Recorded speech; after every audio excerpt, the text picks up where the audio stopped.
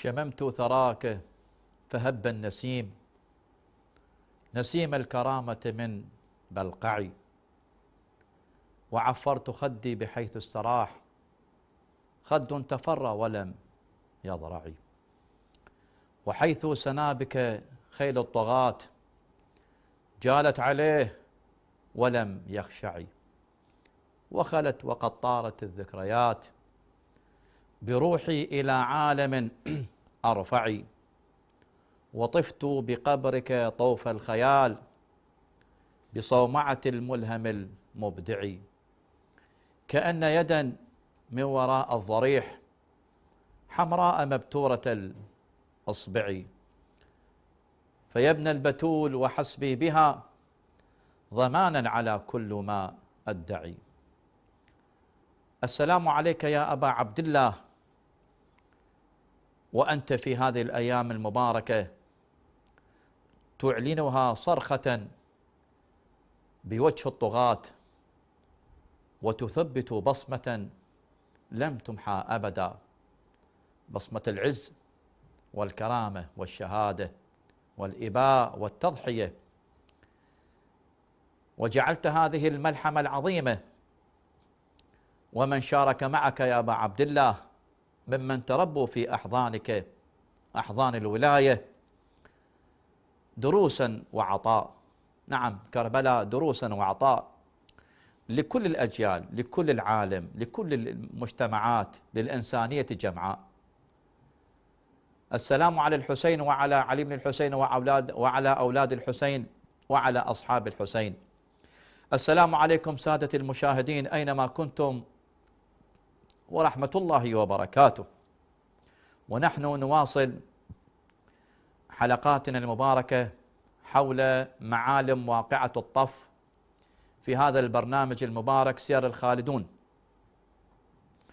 قال الله تعالى في كتابه الكريم بسم الله الرحمن الرحيم.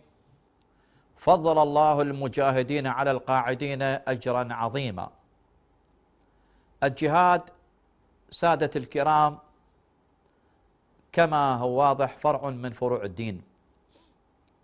ولولا الجهاد لما آه، كانت للرسالات من وجود باعتبار أنه الأنبياء والمرسلين صلوات الله وسلامه عليهم أجمعين والأوصياء ومن سار على نهجهم وهم يحملون رسالة السماء كأمانة بأيديهم هم يواصلون الجهاد.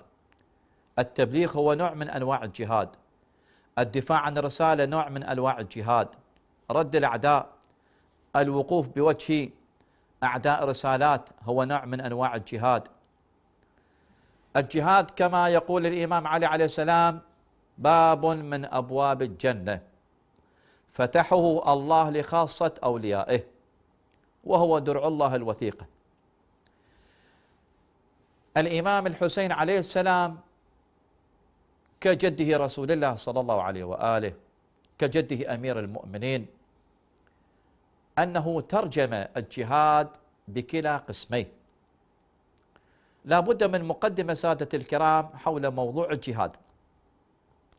الجهاد يقسمه العلماء إلى قسمين الجهاد الأكبر والجهاد الأصغر. يروى أن سرية جاءوا من القتال وطبعا فيهم الجريح والمتعب والمرهق. سيوفهم تقطر من دماء المشركين مشركين. فقال صلى الله عليه وآله مرحبا بقوم جاءوا من الجهاد الأصغر وبقي عليهم الجهاد الأكبر. تعجب هؤلاء الناس الصحابة المجاهدين وقالوا يا رسول الله سيوفهم تقطر من دماء المشرك مشركين. قالوا يا رسول الله وما الجهاد الأكبر؟ قال جهاد النفس. جهاد النفس هو الجهاد الأكبر. ويعتبر سادة الكرام هو المقدمة لجهاد العدو. الإنسان ما لم يجاهد نفسه لا يمكن أن يجاهد العدو. لهذا سمي بالجهاد الأكبر. الإمام علي عليه السلام يقول ميدانكم الأول أنفسكم. فإن قدرتم عليها كنتم على غيرها أقدر. وإن عجزتم عنها كنتم عن غيرها أعجز. أيضا لا بد من مقدمة حتى يتضح المطلب. يقول الإمام علي عليه السلام أن الله خلق أربعا. هذا الكون برمته على أربعة أقسام. عقل بلا شهوة وهم الملائكة. الملائكة أو الملك عقل مجرد. شهوة بلا عقل أجلكم الله وهي البهائم الحيوانات. نعم عدها نوع من الإدراك لكن لا تمتلك عقل. بلا شهوة وبلا عقل وهي الجمادات والنباتات. وإن كان هناك بحث عند العلماء أنه النبات يمتلك نوع من الإدراك لكن على العموم على العموم. وشهوة وعقل وهو الإنسان. فالإنسان سادة الكرام أودع قوتين. قوة ملائكية وهو العقل وقوة بهيمية وهي الشهوة. العقل والشهوة سادة الكرام في صراع مستمر. ومن هنا يقول الإمام علي عليه السلام ميدانكم الأول أنفسكم. الميدان ساحة القتال ساحة الصراع ولا بد أن ينتصر أحد الطرفين حتى بالحسابات المادية. لا بد أن ينتصر هذا الطرف أو هذا الطرف. وهكذا باللحاظ المعنوي عند الإنسان. فالعقل والشهوة ما ممكن أن يلتقيا. كلاهما ضدين. وكلاهما كما قلنا في صراع مستمر. ميدانكم الأول أنفسكم فإن قدرتم عليها كنتم عن غيرها على غيرها أقدر. وإن عجزتم عنها كنتم عن غيرها أعجز. بمعنى العقل سادة الكرام هو نعمة إلهية أعطيت للإنسان. الإنسان واقعا حينما منح بنعمة العقل تميز عن باقي المخلوقات الأخرى. ولهذا العقل هو حجة على الإنسان يوم القيامة. الله يحتج بالعقل. لهذا يقول العلماء أن فاقد العقل واقعا مرفوع عن القلم. يوم القيامة لا يحاسب أمام الله سبحانه وتعالى لأن هذا فاقد العقل. وساقط عنا التكليف الشرعي. إذن العقل على ضوئه يكون الحساب والكتاب يوم القيامة.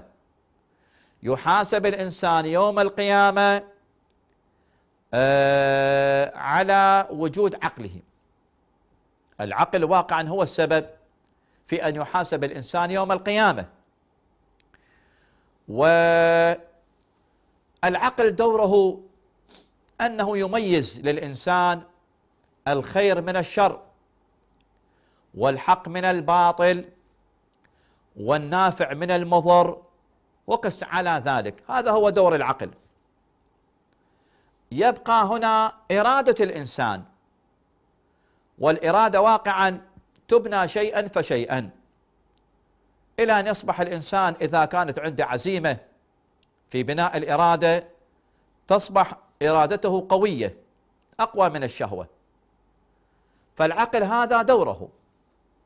على سبيل المثال الإنسان إذا رأى مثلا امرأة أجنبية الشيطان يقف خلف الشهوة. ويوسوس للإنسان أن انظر إليها ما أجملها.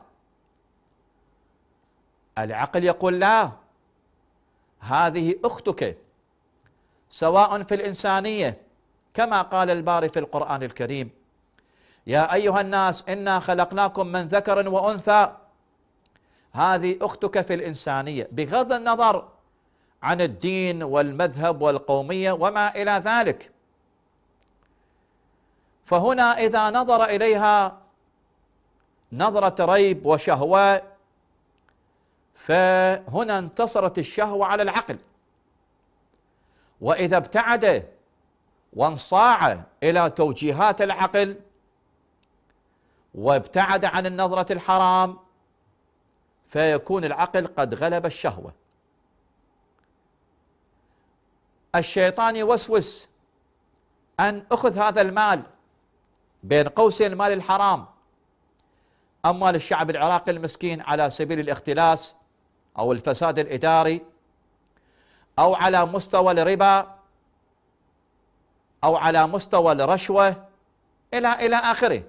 أنا أقصد أموال الحرام الرشوة الغش الربا التزوير سرقة أموال الشعب كله هو مصداق لأموال الحرام. فالشيطان يوسوس أن أخذ المال. العقل يقول لا هذا المال حرام. والباري يقول إنما يأكلون في بطونهم نارا. فهنا إذا ابتعد الإنسان عن المال الحرام فنعم وبها والعكس بالعكس فبئس. وهناك سادة الكرام مرحلة خطرة تأتي كمرحلة ثانية. إذا رأى الشيطان أن هذا الإنسان قوي ولا ينصاع إلى أمره إلى وسوسته يأتيه بطريقة أخرى. ويجب أن نلتفت إلى هذه الوساوس. يمنيه ويغريه يصير عنده غرور. وأنه يوهمه كيف أنه أخذ مال الحرام. أخذ الرشوة اسرق أموال الشعب. تعامل بالربا. زور الحسين كل شيء ينتهي. بعد ما عليك شيء. اشرب الخمر زور الحسين. راح الذنب. كيف؟ أنه سمعنا هنا وهناك يقول أنه الخطيب أو غير الخطيب أو قرأنا في الرواية من زار الحسين غفر الله ذنوبه. صحيح. المغفرة موجودة. لكن مو معنى الإنسان يتطوع على الذنب انطلاقا من شفاعة الحسين. العقل القرآن أهل البيت السنة الحسين آه لا يعني يرفضون ذلك واقعا. يعني العقل القرآن أهل البيت يرفضون هذا التفكير. يعني يصبح الحسين والعياذ بالله سببا في ارتكاب الفحشاء والمنكر. وهذا مرفوض جملة وتفصيلا. فاصل ونعود سادة الكرام.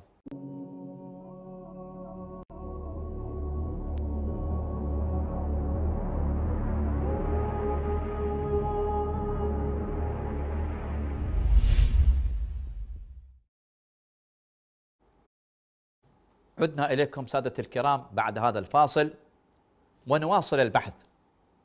فسادة الكرام يجب على الإنسان أن يحذر من وساوس الشيطان لأنه يمنيه بأهل البيت. عندك 14 معصوم ومباح لك الفحشاء والمنكر الخمر والزنا والعياذ بالله وغيرهما. فافعل ما شئت من الذنوب والمعاصي. زور الحسين انتهى كل شيء. نحن لا ننكر الشفاعة ولكن الشفاعة بشرطها وشروطها.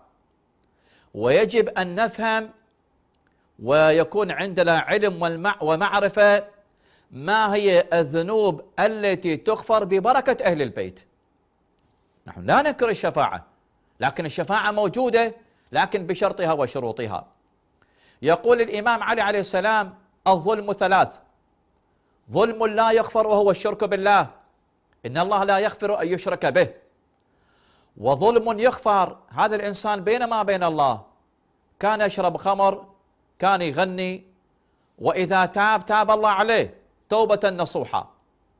وظلم لا يترك يعني عليه حساب وهو ظلم العباد للعباد.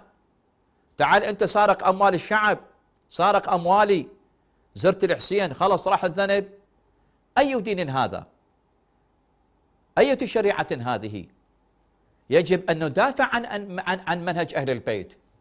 من خلال ما يذهب إليه البعض من الإفراط. ديننا يؤمن بالاعتدال. وجعلناكم أمة وسطا لا إفراط ولا تفريط. وهذا واقعا إفراط في مسألة فهم الشفاعة. نعم الشفاعة موجودة لكن بشرطها وشروطها.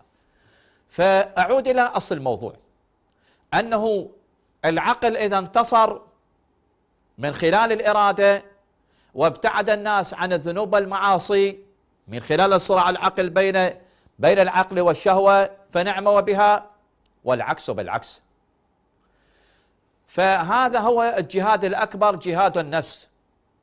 ولهذا الأنبياء والأوصياء والأولياء الكمال كل ضمن مقامه لم يصل إلى هذا المقام إلا من خلال مجاهدة النفس. لهذا يقول الإمام علي عليه السلام إنما هي نفسي أروضها بالتقوى. الإمام الحسين عليه السلام ترجم هذا المعنى مفهوم الجهاد بكلا قسمي ولهذا الله جعلهم أسوة حسنة يقتدى بهم. وحينما أعلنها صرخة بوجه الطغاة أراد أن يرسم للإنسانية هذا المخطط أو هذا المسير مسير المقاومة الجهاد وخاصة إذا أصبحت الأمة وما تمتلك من مبادئ وخاصة إذا كانت مبادئ السماء التي جاء به الأنبياء والمرسلون إذا كانت واقعا آه، مهددة من قبل الطغاة والجبابرة فعلى الإنسان أن المتصدي اللي ملقى على عاتق التكليف الشرعي أن يعلن هذا الموقف والحسين هو إمام مفترض الطاعة. الحسين إمام سلام الله عليه. وحينما عرضت عليه البيعة أن إما يبايع أو يقتل ففضل الثاني على الأول. قال ألا وإن الدعي ابن دعي قد ركز بين اثنتين بين السلة والذلة. وهيهات من الذلة. يأبى الله لنا ذلك ورسول المؤمنون. هذا كان هدف الإمام الحسين. ولهذا أنه بعض الناس البسطاء أو السذج أو اللي عنده ضيق أفق ما عنده إلمام بشخصية الإمام الحسين ما عنده إلمام بمفاهيم القرآن الكريم وخاصة مفهوم الجهاد آه، فسر هذه الثورة بشكل خاطئ. قال إنه الحسين أقدم على الانتحار وإلا شنو 72 نفر؟ أمام جيش جرار أمام دولة قائمة. والحال لا المسألة ليست تؤخذ بالحسابات المادية. إذا قلنا آه أنه تؤخذ بالحسابات المادية هذا واقعا سوف ننتهي إلى نتائج معكوسة. والعكس بالعكس. أنه الحسين لم يقدم على الانتحار حاشا أبا عبد الله. هو يقول سلام الله عليه. شاء الله أن يراني قتيلا. والحسين يعرف ما سوف يؤول له الأمر. لكن كما يقول الفقهاء في باب التزاحم سادة الكرام أن عندنا مهم وأهم فالعقل الشريعة يقول أنه يقدم الأهم على المهم. ففي باب التزاحم العلماء يبحثون هذه المسألة أنه يقدم الأهم على المهم. حفظ النفس واجب هذا أمر متفق عليه. لكنه إذا توقفت الرسالة حياة الرسالة إذا توقف الدين على الدماء فهنا يقدم الدين والرسالة على الدماء. لماذا؟ لأن يعتبر هو الأهم. وبتعبير آخر أن الدين أو الرسالة في المجتمع كموقع الروح من الجسد. الجسد بلا روح ميت يتفسخ. المجتمع بلا دين ميت ويتفسخ. لهذا نلاحظ المجتمعات الكافرة متفسخة. ما تمتلك دين. نعم تعتقد أن هذا دين. مثلا بوذا أو غير بوذا ويعبدون الحيوانات. هؤلاء الكافر واقعا ما يمتلكون دين ما عندهم رسالة. وبالتالي أنه هذا المجتمع حينما نستقرئه استقراء موضوعيا وفي مختلف المجالات. يعني هذا المجتمع الكافر. حينما نأتي إليه ننظر إليه في الجانب مثلا الاجتماعي في الجانب الاقتصادي في بقية الجوانب الأخرى مجتمع متفسخ. مثلا في مجتمع معين لعله التبت على ما أعتقد أنه هذا إقليم في الصين أنه مجموعة إخوان يتزوجون امرأة واحدة. مجموعة إخوان يتزوجون امرأة واحدة. هذا على مستوى الجانب الاجتماعي. مثلا نأتي إلى القضايا الاجتماعية. لا صلة رحم لا مودة لا أخاء. حتى على مستوى الطعام يأكلون ما هو بغض النظر عن الحرمة. ما هو يتقزز منه الإنسان على مستوى باقي المجتمعات الأخرى؟ يأكلون الحشرات والبهائم مثل الميتة وغير ذلك. بل أكثر من ذلك أن هناك مطاعم خاصة في الصين يتناولون فيها لحم البشر. هذا الطفل لما يموت في المستشفى ساعة الولادة مثلا هذا يجي يجمعوهم ويبيعوهم إلى المطاعم وتصنع منهم وجبة غذاء كاملة. هذا حتى على مستوى الأكل. ناهيك على مستوى إراقة الدماء. المجتمع إذا ما ما يعيش دين ما عنده عقيدة إلهية حتى على مستوى الدماء تراق الدماء وليست لها قيمة. الحرب العالمية الثانية سبعين مليون قتيل. لعل يطرح هذا السؤال أنه سيدنا هؤلاء عتهم دين دين المسيح نعم لكن لم يترجم في الواقع العملي. عيسى سلام الله عليه يقبل ذلك رسالته تقبل هذا. أكثر من سبعين مليون قتيل أما الجرحى أكثر من مئة مليون قتيل. كازانزاكي وهيروشيما منطقتين في اليابان ألقيت عليهما القنبلة الذرية وفي كل منطقة أكثر من ربع مليون قتيل. هذا المجتمع اللي ما يعيش عقيدة. لماذا؟ المجتمع إذا عاش العقيدة الإسلامية تلعب دورا بارزا في تهذيب الإنسان في صياغة الذات الإنسانية صياغة موضوعية في تربية الإنسان. العقيدة الإسلامية أو العقيدة الإلهية كل في زمانها ترتقي بالإنسان نحو السماء. يرتقي سلم التكامل ويصل إلى مقامات عالية. يتجرد عن الهوى عن الشهوة عن الغرائز عن الأنا عن حب الدنيا وقس على ذلك. فهذا واقعا هو السر حينما جعل الإمام الحسين أن يستشهد ويقدم تلك الدماء. حينما رأى أن الدين مهدد الرسالة التي جاء بها النبي صلى الله عليه وآله. ما يقارب أكثر من 23 سنة تقريبا جاهد وناضل وكافح وقدم الشهداء. هذه الرسالة واقعا مهددة مهددة بالخطر بالاندثار بالموت. ولهذا قال سلام الله عليه إن لم يستقم دين محمد إلا بقتلي فيا سيوف خذيني. نعم حفظ النفس واجب لكنه حفظ العقيدة حياة العقيدة إذا توفقت توقفت على الدماء تهون تلك الدماء. وفعلا الله سبحانه وتعالى ينظر إلى القلوب. وأية قلوب طاهرة؟ الحسين ومن كان معه. ما كانوا يبتغون شيء من حطام الدنيا.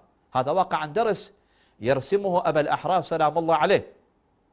بل أكثر من ذلك يعطينا درسا آخر ودرس ودروس لا تنتهي. درس آخر أنه أراد أن يبين للإنسانية جمعاء. أن الإنسان إذا كان يمتلك عقيدة عقيدة نظيفة عقيدة واقعا ترتقي بالإنسان إلى السماء. هذه العقيدة واقعا تستاهل أنه أن يقدم الإنسان دمه ودم فلذة كبده. نعم الحسين قدم فلذة كبده. أول شهيد من بني هاشم علي الأكبر سلام الله عليه. وقدم أولاده. فعلى العموم هذا درس من الإمام الحسين أن قدم أبناءه. العقيدة واقعا تستحق. ونحن على يقين. لو أن الحسين عنده ألف ولد لقدمهم واقعا. تهون العقيدة تهون الدماء. تهون الدنيا ما فيها من أجل العقيدة. لهذا سلام الله عليه. يعطينا هذه الدروس. في التضحية والفداء والشهادة إلى أن قدم كل ما يملك من الأولاد ومن الأنصار وبالمناسبة حتى الأنصار عندهم نوع من التنوع. زهير القين عثماني الهوى. وهب نصراني هذا رجل نظر نظرة موضوعية لأبا الأحرار وينظر إليه صاحب رسالة وصاحب مبدأ فاستشهد بين يدي الإمام الحسين سلام هذا أيضا درس من وهب أنه الإنسان يجب أن يكون عنده موقف لأن تعرفون سادة الكرام أن الإنسان موقف وقيمته في موقفه وكلما كان الموقف نبيل فصاحبه أنبل. هذا أيضا درس في واقعة الطف في مسألة الموقف والتضحية والفداء. نعم الإنسان موقف. يجب أن يبتعد عن الانتهازية أو التلون لا سامح الله ما كانوا يبتغون شيئا من حطام هذه الدنيا من كان مع الحسين. هذا واقع المدرسة. فأبى الأحرار حينما صنع هذه المدرسة واقعا وتنوعت فيها الدروس والعبر وأصبحت خالدة إلى يوم يبعثون. لهذا نلاحظ أن الطواغيت يحسبون ألف حساب لملحمة عاشوراء. أنها ملحمة غير متعلقة بالمسلمين أو العرب. أنا ذكرت في حديث أنها لم تؤطر بأي إطار لا إطار قومي ولا إقليمي لأن الواقع إذا أطرت الثورة فشلت أو حجمت أو تبقى محصورة على نمط معين. لا ثورة الإمام الحسين لكل الأحرار في العالم. لهذا أعداؤنا يحسبون ألف حساب لمن يحيي مراسيم هذه الثورة على مستوى الموكب على مستوى المسير على مستوى المجالس الحسينية على مستوى رفع راية الراية رفع الرايات وما إلى ذلك. لأنه واقعا إحياء للدين إحيوا أمرنا. يعني إحيوا الدين أهل البيت. سلام الله عليهم يبينون هذا. إحيوا أمرنا رحم الله من أحيا أمرنا. أحد أعضاء الكونغرس الأمريكي ولعله كيسنجر لعله يقول نحن خلال السنة نبني نخطط ونبرمج وننظر ونعطي قواعد ونبذل جهود حثيثة طوال السنة. لكنه يتهدم في هذه العشرة آه، عشرة محرم الحرام. لهذا أنه أعداء من ذاك التاريخ أعداؤنا إلى يومنا هذا حينما يحل محرم الحرام تسود وجوههم. وإن شاء الله مسودة في الدنيا قبل الآخرة إن شاء الله. ولم خزن في الحياة الدنيا وفي الآخرة عذاب أليم. لماذا؟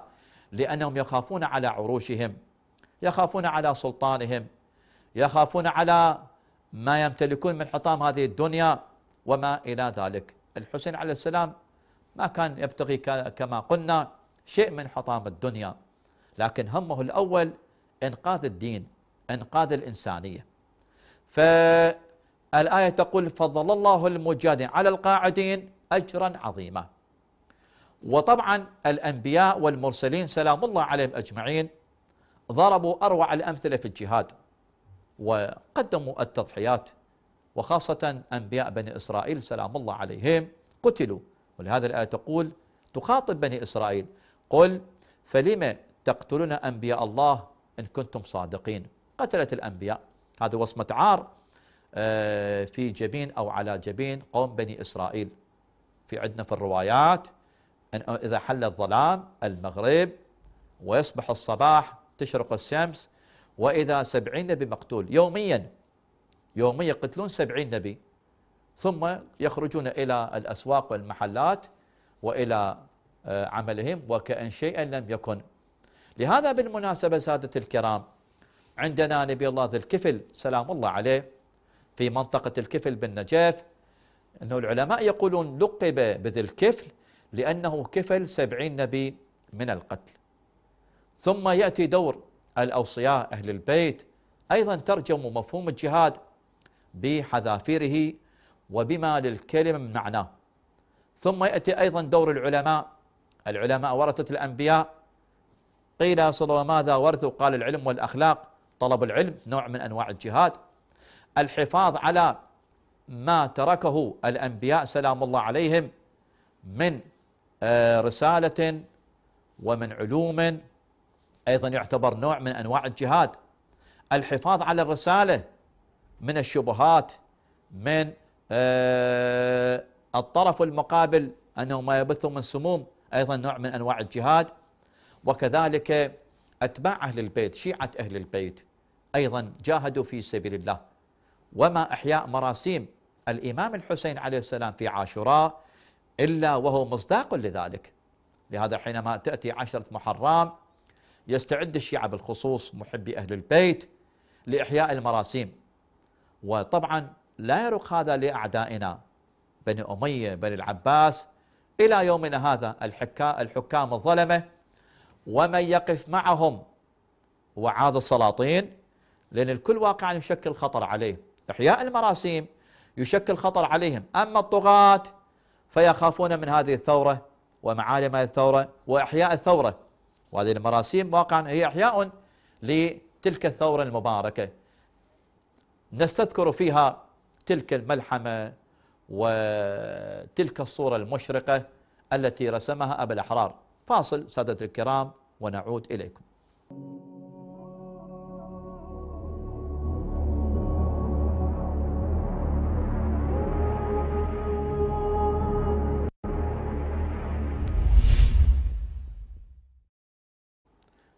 عدنا إليكم سادة الكرام ونحن نواصل بحثنا بحثنا حول هذا الموضوع الدقيق وهو موضوع الجهاد.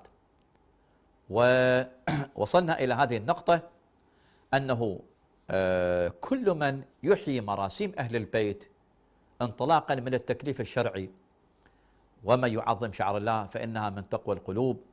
حديث الإمام الصادق عليه السلام احيوا أمرنا رحم الله من أحيا أمرنا هو نوع من أنواع الجهاد. لماذا؟ لأنه الطواغيت كما قلنا آه، بني أمية وبني العباس ومن لف لفهم ومن هو على شاكلتهم يمنعون الشيعة. لهذا نلاحظ مثلا آه، في زمن بني أمية لعنهم الله في زمن بني العباس كانت المآتم تقام خفية مثلا.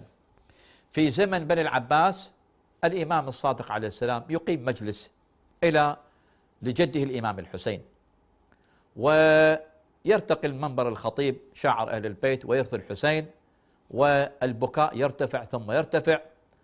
ويأتي جهاز الاستخبارات والمخابرات يطرق الباب يخرج الإمام الصادق. قال ما الخبر يا ابن رسول الله؟ نسمع بكاء وعويلا. هم يخافون من المجالس. قال نعم عندنا طفل صغير وتوفي. هؤلاء يتصورون أنه طفل موجود في البيت وتوفى لكنه الإمام الصادق ينظر إلى من أو يقصد من؟ عبد الله الرضيع سلام الله عليه.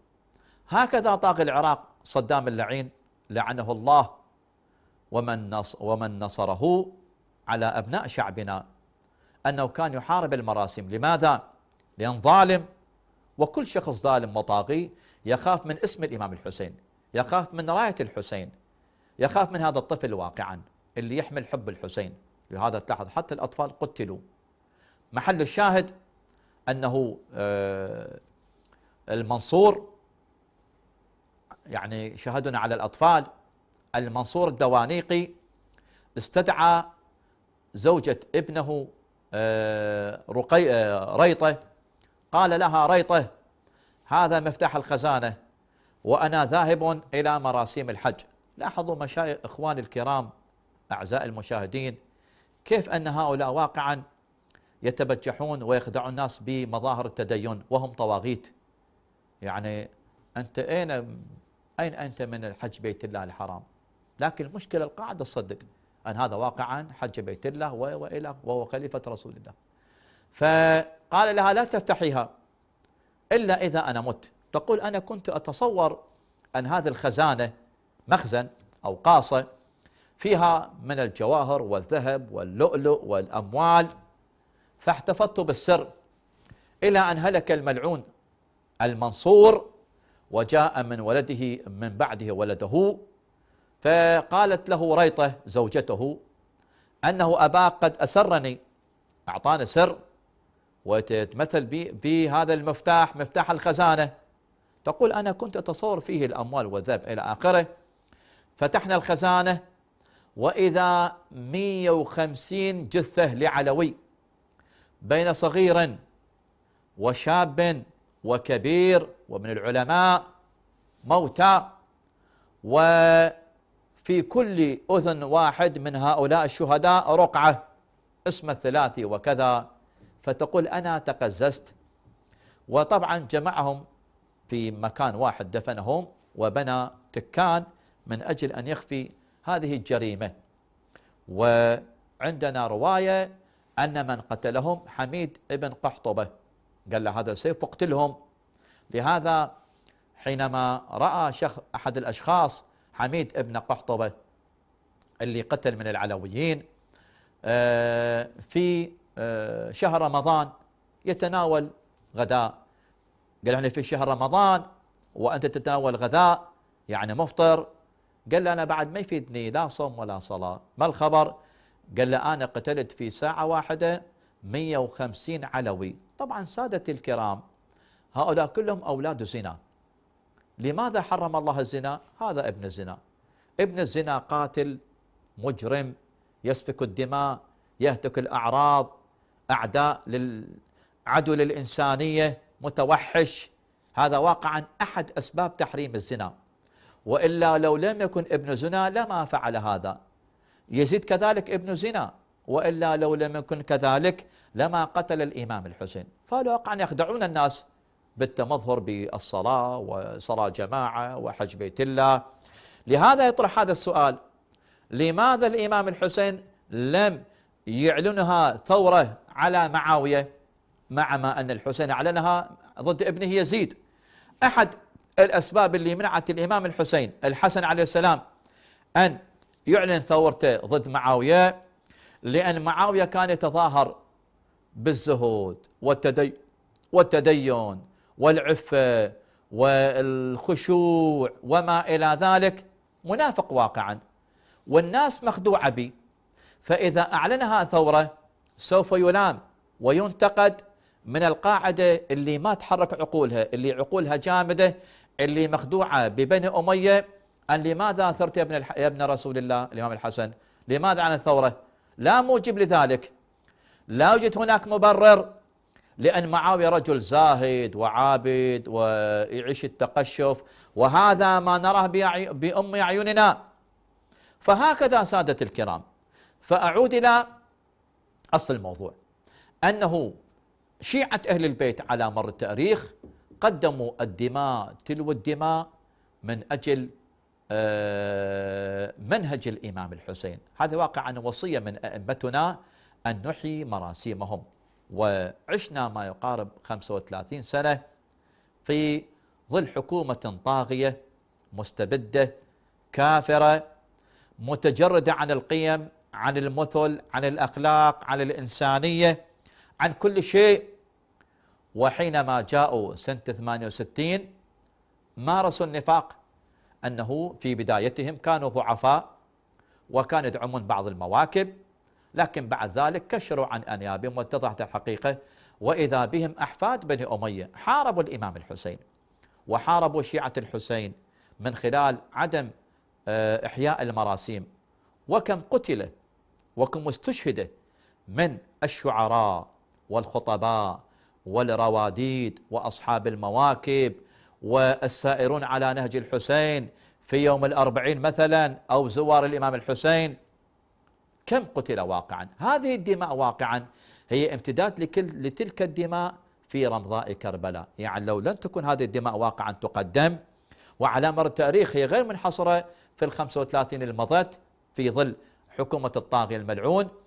آه هذه الدماء واقعا هي التي جعلت مراسيم أهل البيت باقية وتبقى إلى يوم يبعثون. هذه الدماء واقعا امتداد لتلك الدماء الزكية حيث قال الإمام الحسين عليه السلام إن لم يستقم دين محمد إلا بقتلي فياسف خديني. فمحل الشاهد سادة الكرام أنه هذا نوع من أنواع الجهاد في سبيل الله تحدي للطغاة وللجبابرة ولغيرهم. ونحن نسأل التأريخ نسأل كل إنسان عنده ضمير وعنده وجدان وعنده عقل. نتجرد عن كل العناوين والمفاهيم والانتماءات ونحكم العقل فقط. نقول أين طاغي العراق؟ وأين ممن سبقه أعداء الحسين؟ ونرجع نرجع للوراء مرورا ببني العباس ومن ثم بني أمية. هل تجد لهم من باقية؟ هل تجد لهم مراقد مزارات أثار وكما قال الباري في القرآن الكريم وجعلناهم أحاديث وفي آية هباء منثورا وهذا واقعا من العبر. لهذا أعداؤنا يخافون من هذه الفضيحة أن إذا كان الحسين على باطل ويزيد على حق فمن هو الأولى بإحياء المراسيم؟ بلبس السواد؟ بهذا التفاعل؟ يجب أن يكون يزيد هو الأولى باعتبار هو على حق. وبما أن أصبحت العكس إحياء المراسيم والتفاعل والدماء والأموال أيضا التي تقدم من أجل إحياء المراسيم وأموال الفقراء بالذات هذا واقع أن دل على شيء فإنما يدل على أن الحسين على حق. هذه مسألة ما تحتاج لا إلى نقاش ولا إلى توضيح مسألة بديهية بل من أبده البديهيات. ولهذا الآية تقول فأما الزبد فيذهب جفاء وأما ما ينفع الناس فيمكث في الأرض. السلام عليك يا أبا عبد الله السلام عليك يا ابن رسول الله. السلام عليك يا ابن أمير المؤمنين. وأنت في هذه الأيام المباركة واقعا تعلنها صرخة للتأريخ. فالسلام عليك وعلى أنصارك وعلى أهل بيتك الطيبين الطاهرين. إن شاء الله للحديث تتم. أستغفر الله لكم سادة الكرام. والحمد لله رب العالمين وصلى اللهم على سيدنا محمد وآله الطيبين الطاهرين.